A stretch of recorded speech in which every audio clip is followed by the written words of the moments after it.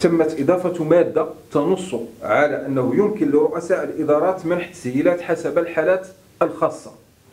الأمر هنا يتعلق بالأساس بالولوج ديال بالنسبة يعني الانسجام مع المقتضيات التي اعتمدت على مستوى آه، التعليم منظومة التربية والتكوين آه، بالشكل اللي الآباء والأولوية ديال التلاميذ والتلميذات والأمهات اللي تيمكن تمنح لهم تسهيلات حتى لا يقع مشكل في هذا المجال و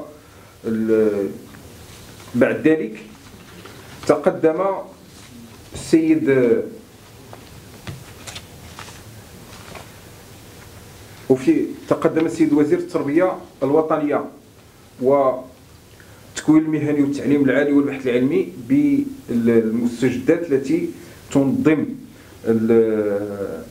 التوقيت المدرسي باعتبار أن المرسوم الذي يحدد توقيت ديال العمل في الادارات في إدارة الدولة والجماعات المحلية كيفوض الوزير التربية الوطنية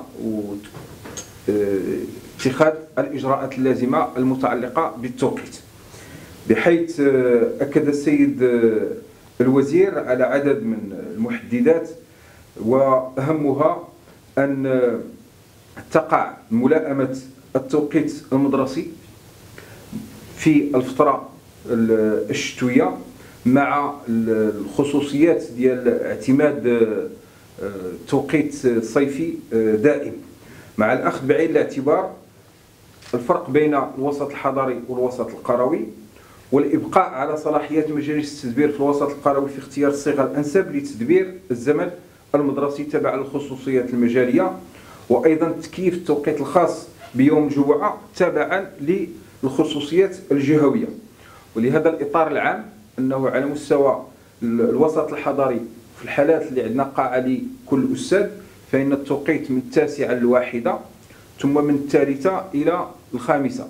يعني توقيت حتى التسعود والفطرة في منتصف اليوم غنحافظوا على المبدأ ديال ساعتين. ويوم الأربعاء أنا عندهم التاسعة إلى الواحدة. وفي العالم القروي اعتماد توقيت مستمر مع نصف ساعة الأقل بين الفترة الصباحية والفترة المسائية من التاسعة إلى الثالثة.